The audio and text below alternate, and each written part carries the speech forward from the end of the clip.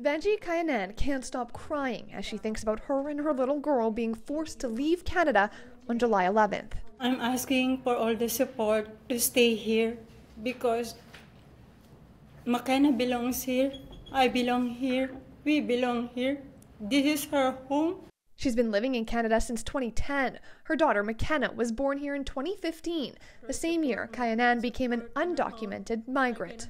And her mom came here legally under the temporary foreign worker program. She was abused by her employer, and it's abused by a system that has abused many people and throws people away back to their home countries just to bring in a new batch of people to do the same job. Supporters say the family's case is unique because McKenna was born in Canada and has special needs. The six year old was recently diagnosed with ADHD and oppositional defiant disorder. They fear deportation to the Philippines would be detrimental to her well being. In an impoverished learning environment without the resources, I don't believe that those special needs can be met.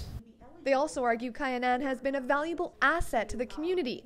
Despite her status, she advocated for children of migrants to have basic rights and won. Every child born in Canada can actually access health care now because of her work.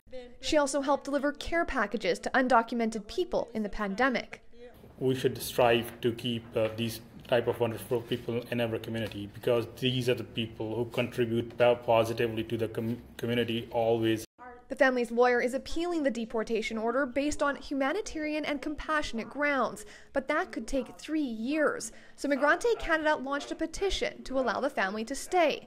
They want to present it to the Minister of Immigration. It already has more than 2,100 signatures. No worker should ever feel like this. No human should ever feel like this. No child should ever, ever be part of this process.